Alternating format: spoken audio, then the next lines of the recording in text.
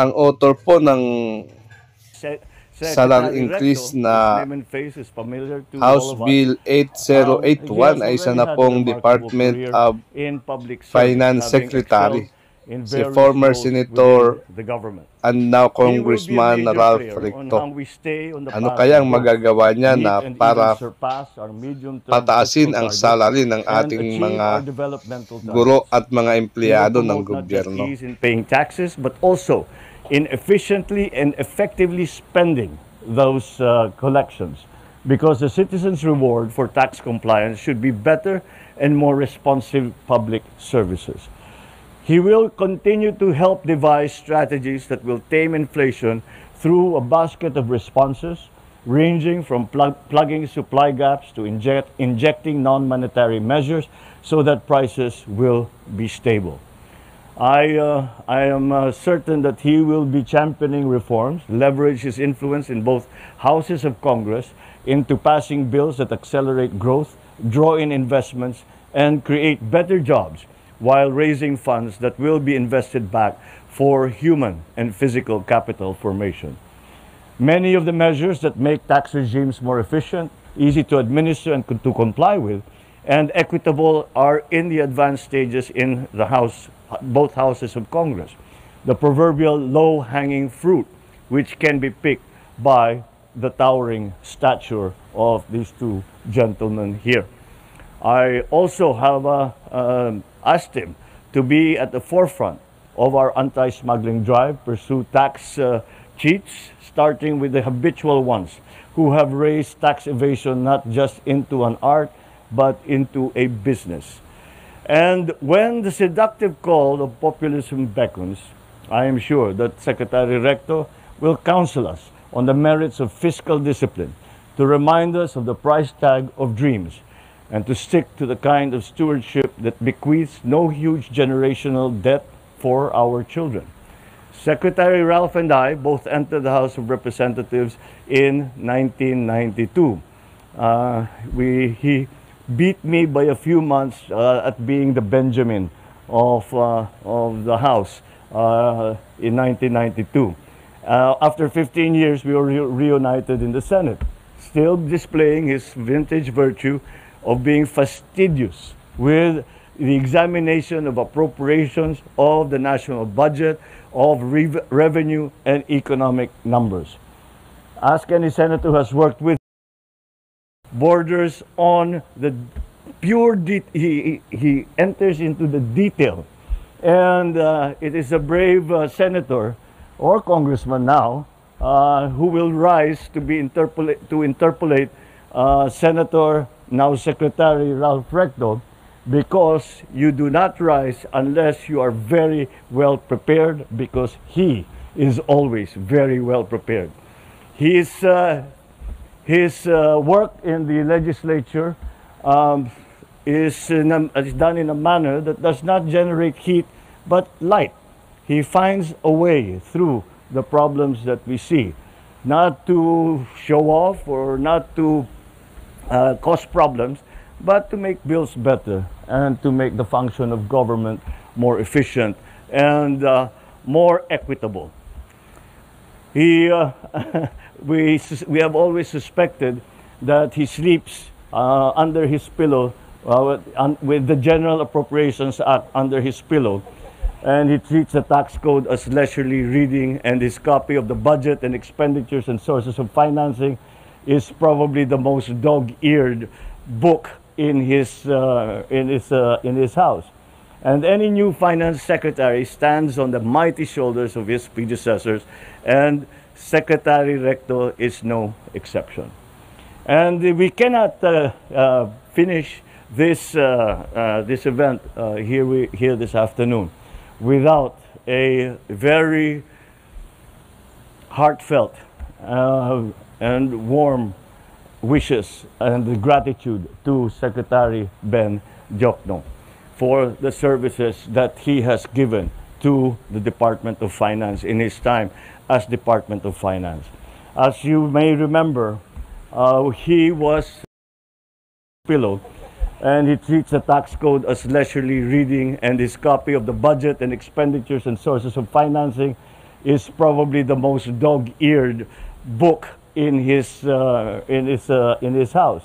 And any new finance secretary stands on the mighty shoulders of his predecessors, and Secretary Recto is no exception. And we cannot uh, uh, finish this, uh, this event here, we, here this afternoon without a very heartfelt and warm wishes and gratitude to Secretary Ben Diokno for the services that he has given to the Department of Finance in his time as Department of Finance. As you may remember, he was, uh, he was uh, the governor of the BSP uh, when I first came into office, and he was uh, uh, due to retire middle of uh, last year. But we I think we all ganged up on him and asked him to please continue uh, as Department of Finance simply because we had to get the economy, we had to get our policies onto the right track. And he has done a splendid job as secretary. And uh, during his watch, when the pandemic's lingering effects congealed with new crises, which would have created a perfect storm had they not been diffused. Being one of our country's pillars of economic management, we shall continue to rely on your expertise and exuberance as a member now of the Monetary Board. Maraming maraming salamat from a grateful nation, Secretary Ben Diokno.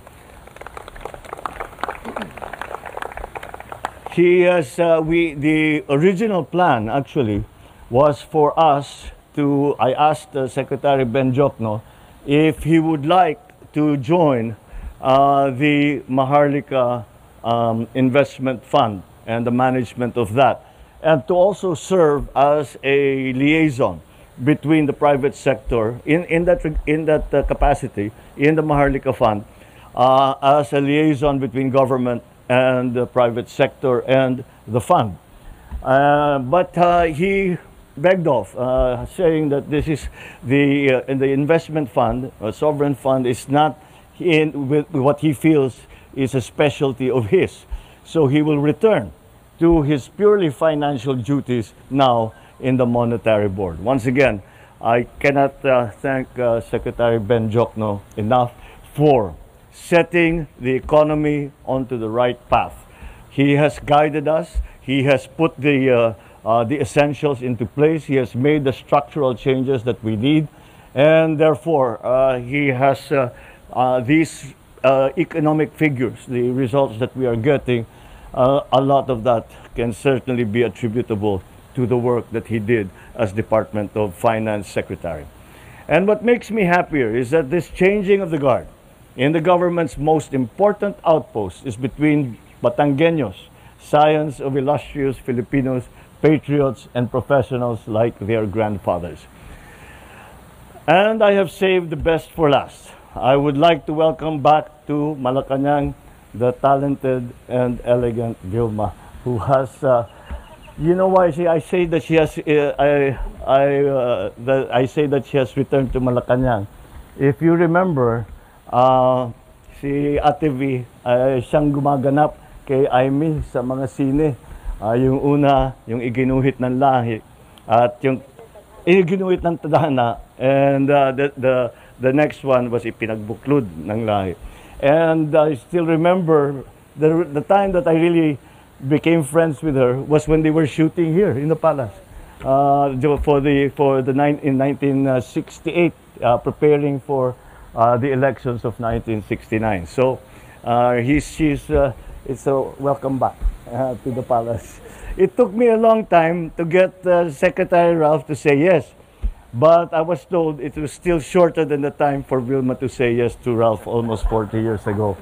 Kaya sineswerte pa rin itong ating uh, kaibigan na si Secretary Ralph. Uh, my fellow Filipinos, these two gentlemen embody the values of competence, integrity, and a deep sense of responsibility that we look for in our government leaders. Together, they will form part of a dynamic team committed to steering our economic policies towards inclusivity and progress. We will work towards creating an environment that encourages investment, stimulates economic opportunities, and uplifts the lives of every Filipino citizen. I thus call up upon everyone to support our new secretaries as they assume these critical roles in the government. Let us join hands and uh, build a future where economic prosperity is shared by all, where opportunities abound, and where the Philippines stands tall on the global stage. Thank you very much and uh, good afternoon.